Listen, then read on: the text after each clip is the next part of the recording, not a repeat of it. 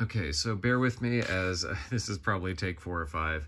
Uh, it is early in the morning for me, but this is the second in my series on the um, king and the prince of the Heptarchy, the High King and High Prince, which is to say Carmara and Hagonel. The first video I talked about Carmara, and now I'm going to talk about Hagonel. So Hagonel is interesting because this name actually appears later on as one of the children of light. And he is said to be the to rule over or he, he identifies himself as saying he rules over the sons of light and the sons of sons of light. Now other a couple of interesting other tidbits about him is that he's referred to as primus et quartus hagonel which means first and fourth. And also that he is called first of the twelve. Hmm okay now, zodiacally, you might think first of the 12 is might mean he is a zodiacal prince, and that may be the case, but he is never listed in the original transmission of that.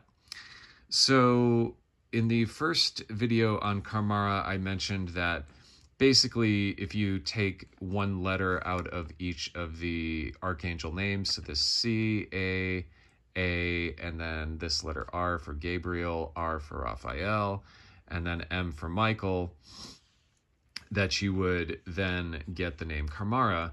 And you could do the same thing even if you use the heavenly name of Marmara, which he is known as also. By the way, Marmara is also the name of a sea in Turkey, I want to say, or you know, um, you know, adjacent to it, not in it, obviously. Um, so that's interesting, right? Like there's this additional layer of actual referring to things, which is an interesting thing that e- Enochian does. It sort of uh, tweaks things that are in, in existence. So, okay, so what do we have here? Well, clearly we have, and you know, if we're looking at seven letters in the name Hagonel, clearly we don't have that in terms of what I've circled here, right? I've circled 12 letters as it turns out. So, why, but let's before we actually get to the derivation, um, but I w- and I will get to that. But one of the things I wanted to notice is that this capital H in Haniel, it's actually it's not the fourth letter. The fourth letter is R, but it is the fourth unique letter. So Z L. This is another L, so we can say Z L. Skip this one, R and H. So okay, that's interesting. And this H is also in the first row.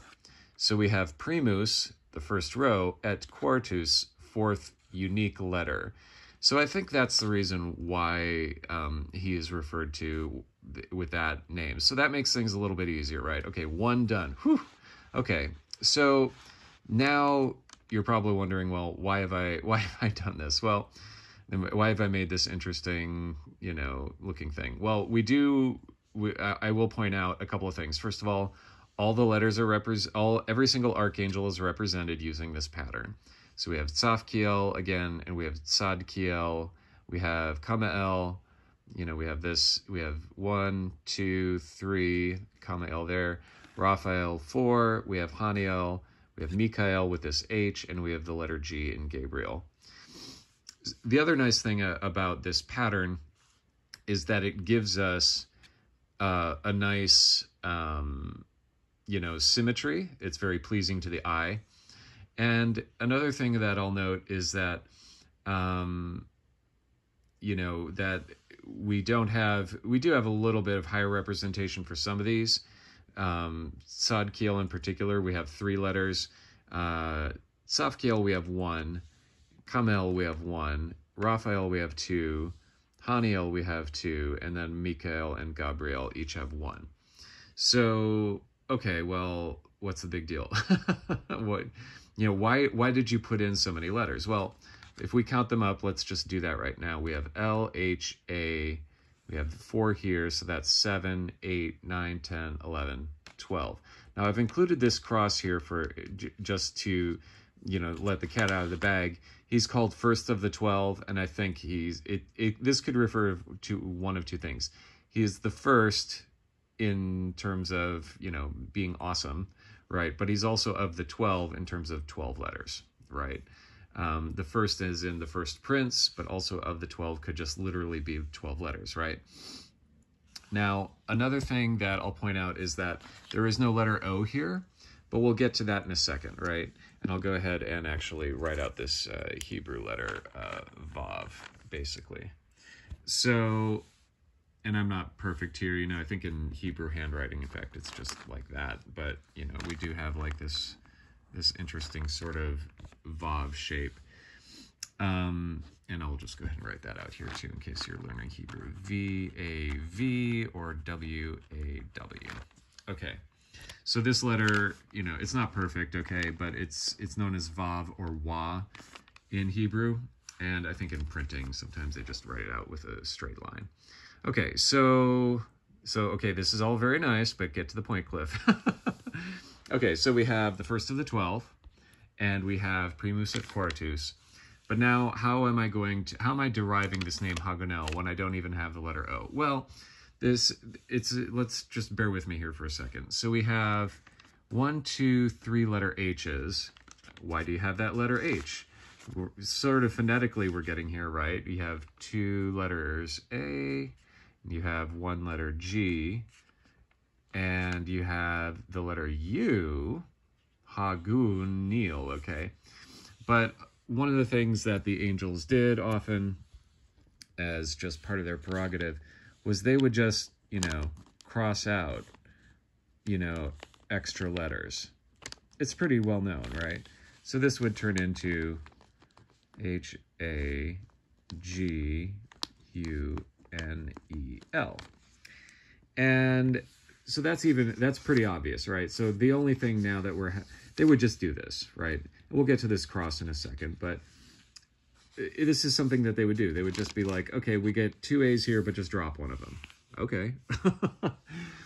Another thing that I wanted to point out before we get to this letter, well, I'll just talk about the letter U here.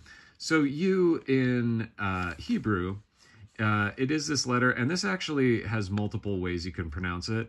Just like, you know, the letter G, we have G for gem, we have G for like golf, and we also have a whole bunch of weird spelling rules, like if it's a if it's a GH, then maybe it's silent, right? Or it could be the f sound like that, right? Who knows?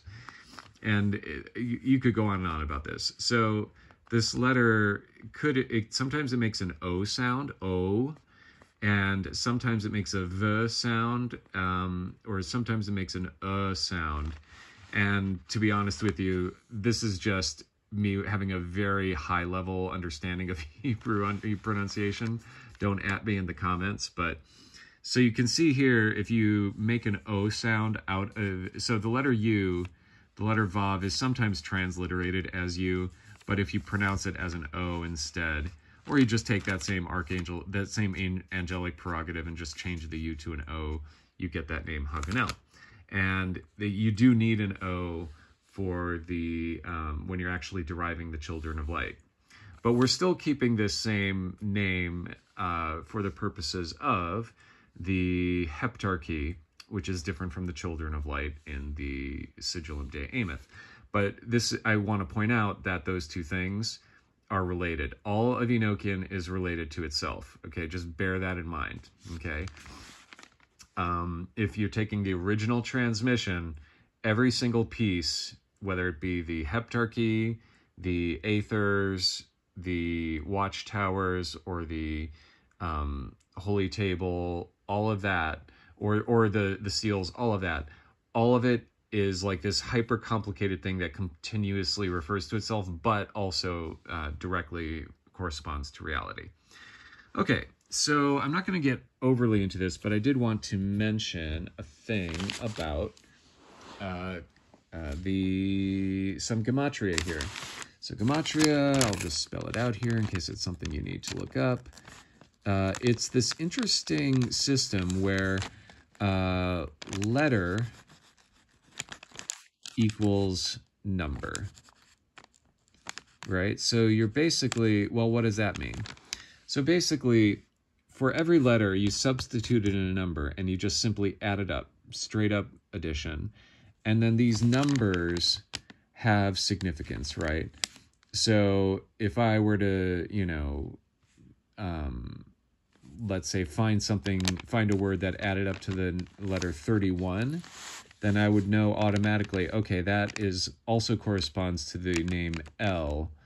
And so therefore, whatever it is that I've just found, it corresponds to El, which means God. So that's generally considered a positive thing.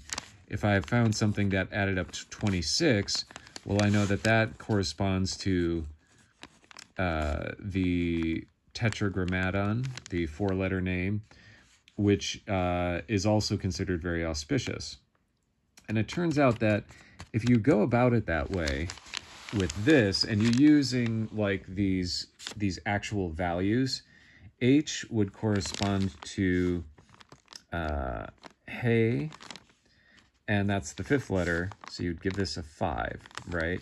And let's, before we, you know, reduce that, you have 5, 5, 5, and then the A is Aleph. I'm not going to try to make the letter Aleph, but that's 1. So you have 17, 5 plus 5 plus 5 plus 1 plus 1. Then you have the letter G, which corresponds to Gimel, so you're up to 20.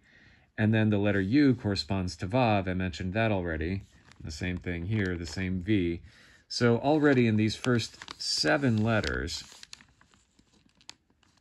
uh, I'm trying to make, make that mark right here just to show that. First seven letters, you get to 26. So the, the number seven is extraordinarily important in Enochian. I mean, right here, we have a seven by seven table. It just comes up all the time. In um, Genesis, uh, God took the, rested on the seventh day and made it holy. And it's considered a holy number.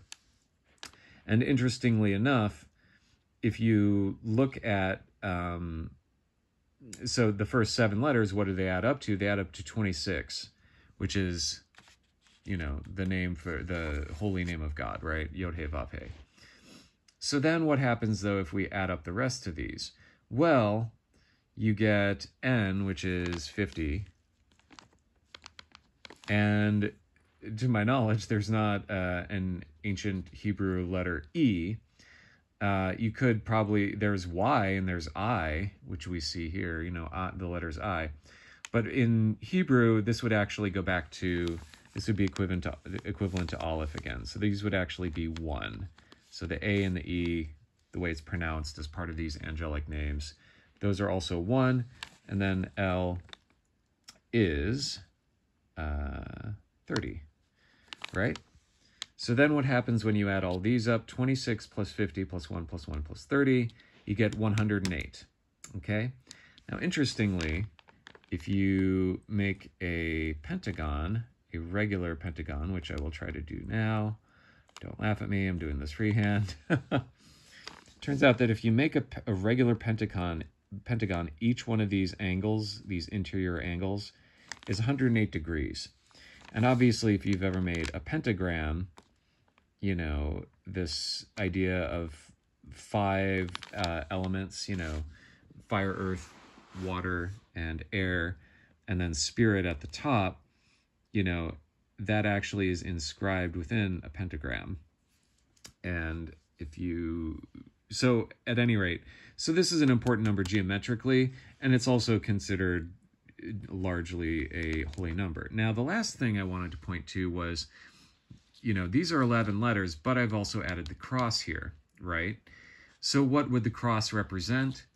It would represent Christ. So if we are thinking about this in terms of a Christian magical system, which is exactly what Enochian is, uh, then the cross would say add in three and then you would get uh, 111. And 111, you know, you, if you've heard of angel numbers, you know, the, the reason for the, the idea of a repeating number is kind of important. Symmetrical numbers are important, and this is both. Um, but this actually is not only, you know, if you spell take the word Aleph and spell it out, it turns out that each of these letters, if you add these values individually, 1, 30, etc., then you get um, and pe because you don't there's not actually you don't pronounce this e you this isn't spelled out it's basically uh, uh, aleph lamed and pe You, you're basically only taking three letters. So the each of these three letters, if you add them up, they make a three-digit number that is just one all over again, suggesting once again the unity of God, right? And interestingly enough, all, the letter A it's, uh, on its own is also equal to one. So even if you spell it out, you're still returning to God, right? You're returning to God, you're just pointed out three times. So this is just a long, complicated way of saying that, um, you know, with a little bit of, you know, inspiration, you know, you can kind of see, okay, here's, you know, here's some interesting patterns here, right?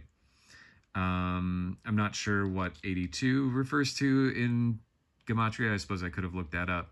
But the point is, is that you get the 7 and you get the 4.